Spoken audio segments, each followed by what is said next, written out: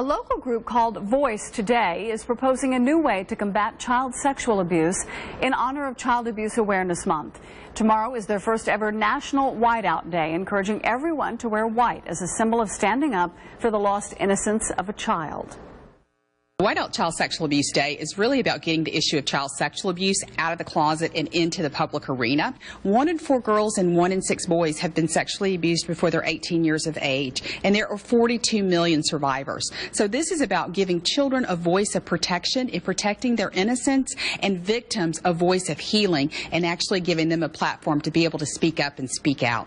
Voice Today is encouraging you again to wear white and spread the word. Learn more about the campaign and sign up for a 5K on May 3rd by visiting CBS46.com and looking under web links.